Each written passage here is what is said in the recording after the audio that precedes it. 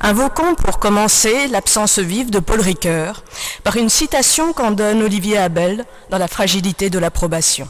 Je cite L'éthique est comme tendue entre une morale de l'acquiescement et une morale du refus. Les attitudes de l'existence face à la transcendance sont tendues entre le défi de l'abandon, entre la loi du jour et la passion de la nuit. Partout, nous avons affaire à une tension originaire entre le refus et l'approbation, à une sorte d'inquiétude qui est aussi une gaieté profonde. C'est une pensée de la vie comme tension. Fin de citation. Deux extraits de lecture maintenant. Un extrait de lecture de l'Iliade, le chant 24, la strophe 504. Je cite. Le seul qui me restait pour protéger la ville et ses habitants, c'était Hector, et tu me l'as tué hier. C'est pour lui que je viens, et pour racheter son corps, je t'apporte une immense rançon. Va, respecte les dieux, Achille, et songeant à ton père, prends pitié de moi. J'ai droit à la pitié. J'ai osé ce que jamais aucun mortel n'a osé ici-bas. J'ai porté à mes lèvres les mains de l'homme qui a tué mes enfants. Tandis qu'il parle, il fait naître chez Achille un désir de pleurer sur son père. Il prend la main du vieux. Tous deux se souviennent. L'un pleure Hector, Achille pleure sur son père, sur Patrocle aussi par moments. Mais le moment vient où le divin Achille a satisfait ses besoins de sanglots. Brusquement, de son siège, il se lève, il prend la main du vieillard, il le met debout, il s'apitoie sur ce front blanc, sur cette barbe blanche. Lecture de 1 Samuel 24. Saoul prit trois mille hommes d'élite de tout Israël et partit à la recherche de David et de ses hommes en face des rochers et des bouquetins. Il arriva au parc à brebis qui sont près du chemin. Là se trouve une caverne.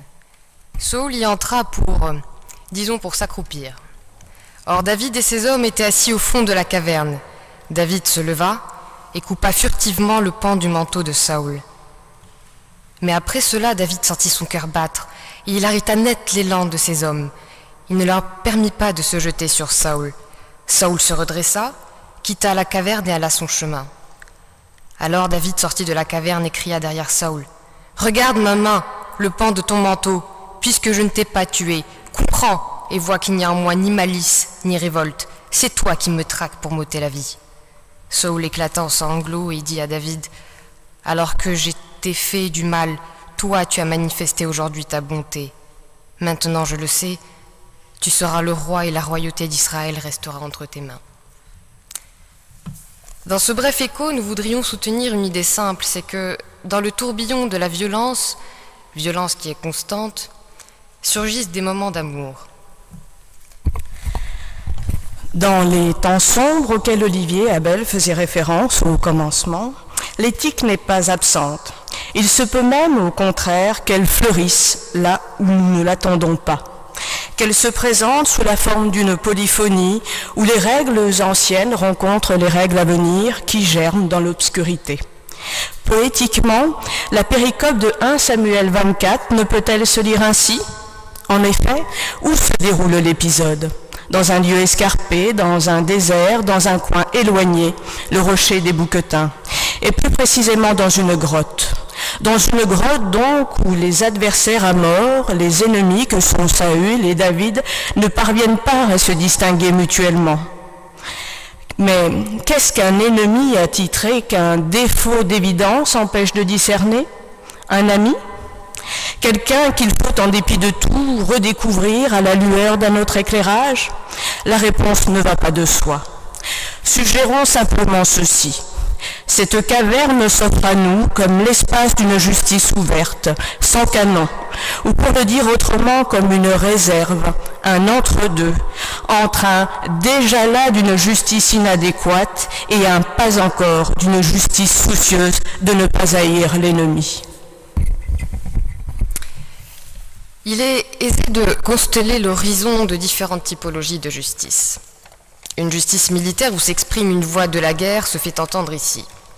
Ce sont les soldats qui la font résonner. C'est typique des soldats de vouloir toucher le corps de l'ennemi là où il n'y a ni cuirasse ni bouclier. de le saisir là où il est sans défense. Saul n'est-il pas nu? Saisissant pareille occasion, ces hommes ne disent-ils pas à David Voici le jour où le Seigneur t'a dit Je livre ton ennemi entre tes mains, traite-le comme bon te semblera. David réagit en officier. La fonction des officiers est de commander, ce, qui signifie au sens littéral du terme faire tenir les hommes à soi pour éclairer les situations et donner des instructions. C'est là le commandement. La réflexion doit en réalité précéder et encadrer l'action. Il faut penser en homme d'action et agir en homme de pensée. Une justice conservatrice, ensuite, valorisant la légitimité, je cite, que l'Éternel me garde de commettre contre mon Seigneur loin de l'Éternel, une action telle que de porter ma main sur lui, car il est loin de l'Éternel. Par ces paroles, David arrêta ses gens et les empêcha de se jeter sur Saül. Une justice distributive, par exemple, encore, où s'entend en écho de l'ancienne sagesse, des méchants vient la méchanceté, dit l'ancien proverbe.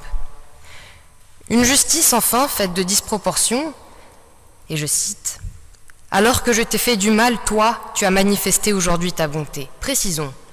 David exprime l'image d'une justice vivante, d'une justice haletante et singulière, coïncidant avec la sagesse d'un homme en action. Ce récit donne à saisir l'équité d'un juge comme l'expression directe de son discernement. Justesse et justice y sont inséparables. Le souffle de l'épopée agite ces textes. Ils récapitulent, font place à nombre de voix et de voix, reconnaissent la sagesse mais ne s'y résument pas. Nous ne pouvons nous empêcher de les lire avec fascination, comme si l'indistinction ravageuse de la violence qui rend l'autre insupportable d'être si pareil et si étranger à la fois laisser soudain poindre une justice habitée par la miséricorde. Certes, ce n'est sans doute que le reflet de ce qui n'a jamais existé, mais il s'agit là de raconter autre chose, comme un chant lointain qui vient des profondeurs, d'ouvrir par la poétique et l'imagination des portes inédites à l'action. Une conception verticale de l'ennemi peut également être soulignée. Le lexique de la filiation est commun à ces deux textes. Il y apparaît-elle un repère cardinal? Le père du vœu de David, tout comme celui d'Achille, est identifié comme ennemi, et c'est dans le paradoxe d'une oscillation entre l'intime et le politique que s'entend cette reconnaissance. Mais cela laisse aussi surgir la possibilité de la fraternité, la source de ma différence et le jaillissement de mon amour. Terminons par un mot, Souvent, on souligne le grotesque de la position de Saül, accroupi, réduit à ses besoins de simple mortel. Mais ne peut-on, comme dans les lectures éthiques de Robert Graves ou de George Orwell, reconnaître qu'il n'est nulle nécessité d'ajouter la haine à la guerre, que l'ennemi peut et doit être reconnu dans son humanité la plus nue, et qu'en des temps où l'on dévait les soldats pour les humilier, l'honneur de David fut de voir une grandeur sous un homme humiliable.